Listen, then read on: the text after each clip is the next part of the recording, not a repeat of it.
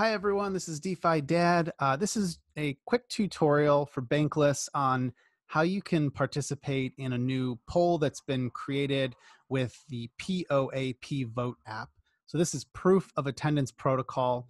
Uh, this is a you know really popular uh, way to distribute NFT badges at different Ethereum-based events.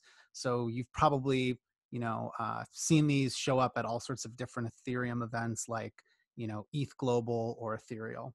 And so if you're a part of Bankless, you might have gotten the Bankless badge. There was a hundred folks, I believe, in total who received this uh, not too long ago. And so if you have that badge, you can go to poap.vote, then uh, scroll down and you'll see that these are active polls. Scroll over to the right and poll number nine is this one. Just click on it uh, so the question is, should Bankless proceed with the BZRX governance proposal? So uh, BZX is going to be releasing a governance token, BZRX, and all of the details are actually linked here. So if you copy and paste those, you'll end up here, and you can see uh, just you know what the idea is behind the BZX DAO uh, airdropping some BZRX governance tokens to Bankless token holders. And so you can learn about that here. If you want to vote in favor of it or against it, here's the poll. Again, it's poap.vote slash nine slash results.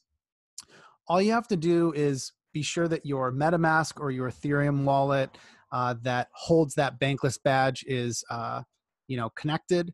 And so uh, if I click here, uh, you notice it just requires that I have this Bankless member badge, and then I'm going to hit place vote and I'm going to go and connect my wallet.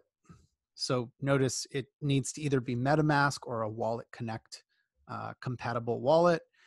And then, yeah, you just vote yes or no. So let's see here. Should Bankless proceed with BZRX? Sure. I, I read over most of this earlier. I, I think it's a good idea. so at least I'm voting for it. Uh, if you hit submit vote, you should see MetaMask come up.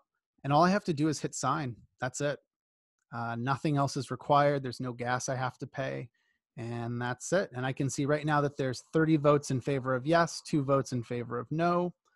Uh, you can actually look at the results by address, but that's all. So let me know if you have any questions in the comments of this YouTube video or feel free to ping us on Twitter. Uh, we'd love to help you if you have any troubles with this.